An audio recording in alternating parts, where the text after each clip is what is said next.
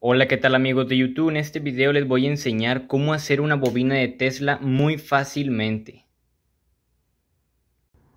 Los materiales que vamos a utilizar es 15 centímetros de cable de 1 milímetro de grosor, cable para conectar, un transistor 2N2222A, una resistencia de 22 kiloohmios, un interruptor, una pila de 9 voltios, alambre magneto de medio milímetro de grosor, un tubo de PVC de 10 centímetros de largo por 3 centímetros de ancho o también puede ser de 8 centímetros de largo por 2 de ancho. Y por último, una tabla de madera, así como esta. Ok, lo primero que vamos a hacer es enrollar el alambre magneto en el tubo de PVC. Para esto vamos a dejar un sobrante de alambre, así. Y lo aquí sujetamos y le ponemos un trocito de cinta para que no se nos mueva el alambre y se nos vaya a desenrollar todo. Así de esta forma. Luego, ahora sí, empezamos a enrollar. Así. Es muy importante que todo el alambre quede muy comprimido, que no quede espacio entre alambre y alambre, sí. Debe estar perfectamente comprimido. Y así vamos a enrollar hasta que lleguemos hasta esta parte. Ya después de un cierto rato así nos debe de estar quedando. Como pueden ver ya llevamos la mitad. Recuerden que tenemos que llegar hasta esta parte. Y como pueden ver no hay espacios entre cada alambre. Está perfectamente comprimido. Y seguimos enrollando.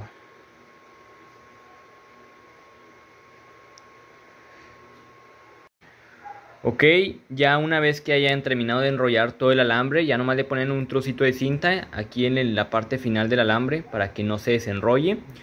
Y también van a lijar las dos puntas de estos dos alambres para quitarles el esmalte. Se lo van a lijar con una lija o una lima, bueno, simplemente a quitarles el esmalte de los dos. Una vez que ya le hayan quitado el esmalte, van a pegar la bobina aquí en la tabla de esta forma. Una vez que ya hayan pegado la bobina a la tabla y lijado los dos alambres de la bobina, vamos a pegar el interruptor aquí, la pila aquí y el transistor lo vamos a pegar aquí, ahí. Como pueden ver, el transistor tiene una parte curva por atrás y la parte de adelante la tiene plana. Bueno, la parte curva va a ir hacia abajo. Así lo vamos a pegar. O sea, la cara plana debe estar mirándonos a nosotros. Ok, vamos a pegar todo eso. Ok, ya una vez que hayan pegado todo, vamos a agarrar nuestro cable. Pero aquí quiero hacer una corrección. Ya ven que les dije que iban a ser 15 centímetros, pues no es así vamos a utilizar 40 centímetros. Ahí una disculpa. Bueno, con este cable vamos a hacer la bobina primaria, ya que este es el bobinado secundario y esta va a ser la primaria. Entonces vamos a darle dos vueltas. Ahí va una y ahí está la segunda. Este lo, este lo vamos a pegar aquí y este lo vamos a pegar acá. De esta forma, así. Ok, ya una vez que hayan pegado los dos extremos de la bobina primaria, van a soldar este alambrito que es de la bobina primaria a la pata central del transistor. Y también van a soldar la resistencia ahí mismo, a la pata central del transistor.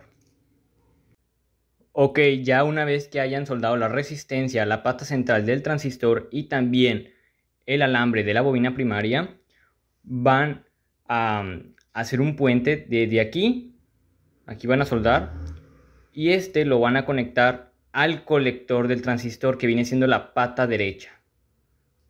Así. La pata derecha del transistor es el colector, la pata izquierda es el emisor y la pata central es la base. Entonces aquí se va a hacer un puente, aquí soldamos y lo conectamos al colector. Y también se va a hacer otro puente de acá, aquí lo soldamos y lo vamos a conectar a la resistencia aquí, a esta parte de la resistencia. Ahí. Una vez que ya hemos soldado los dos puentes, vamos a soldar otro puente desde aquí de la resistencia hasta este terminal del interruptor. Este de aquí. Así va a quedar. De esta forma. Y el positivo de la pila lo vamos a soldar al terminal común del interruptor que es el del medio. Así que yo lo voy a soldar a este cablecito de aquí. Ahí lo voy a soldar. El positivo de la pila. Y el negativo de la pila lo voy a soldar al emisor del transistor. Que es la pata izquierda. Ahí. Ok, ya todas las conexiones quedaron listas. Así quedaron. Y ahora sí ya podemos probar nuestro circuito. Accionamos el interruptor. Acercamos un foco ahorrador. Y se enciende. Ahora ya no más queda hacer una última cosa. Eh, vamos a agarrar una bolita de papel y se la vamos a poner así en una hoja de aluminio. Esto es cuestión de estética, simplemente para que nuestro proyecto se vea un poco más bonito. Pero así como está ya funciona perfectamente todo. Así la envolvemos, cortamos el excedente y ahora este a ver. Este mm, alambrito que quedó aquí, se lo vamos a pegar con cinta. Lo unimos aquí a la bolita de aluminio y lo pegamos con cinta. De esta manera. Y ya nomás esta bolita, aquí ponemos silicón y la pegamos. Y ya quedaría listo. Ya una vez que hemos pegado la bolita de aluminio, ya nuestra bobina Tesla estaría terminada. Ahí está. Y bueno amigos, hasta aquí el video. Espero que les haya gustado y nos vemos hasta la próxima.